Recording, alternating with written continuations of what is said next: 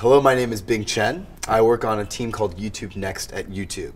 Uh, we are charged with identifying, developing, and promoting, in other words, supercharging any sort of content creator anywhere. But if somebody has a small business, how can YouTube help them? How can they use that as a free tool? I think really it distills down to one thing, which is not only are we the biggest stage in the world, 3 billion views a day. Not only do we have that, but we have an engaged audience. So you're not playing to someone that's, you know, being, you know, leaning back in their couch and like sipping a soda and maybe watching your channel. You have people who are leaning forward, very engaged with the content and really interested in what you have to say.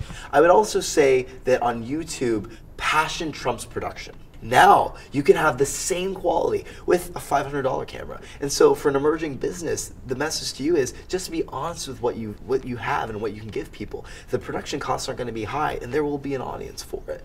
How does somebody get started? First, go to youtube.com slash browse and look at all the videos that are on there. A lot of them, vast majority, are from our YouTube partners. See what kind of content they're creating, how they're interacting with their community.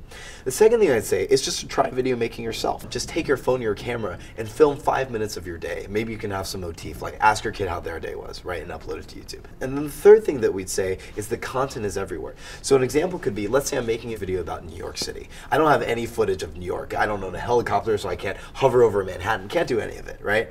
But someone else has, and they've Creative Commons licensed it. So what I can do is I can take their content, and suddenly I have something that looks like it was millions of dollars to create, but actually only cost me about five hours and $200 maybe. So if, if we're looking at at an any sized business and, and they really want to establish a presence on YouTube. How do they get started? What rules should they follow? So we have something uh, at YouTube that we call Healy's Law, and this is named after the famous Margaret Healy, who's one of the first YouTubers and really a champion for the content community. And so the H in Healy stands for honor thyself, right? Making sure that you are true to your brand and you're conscious of what platform you're going on.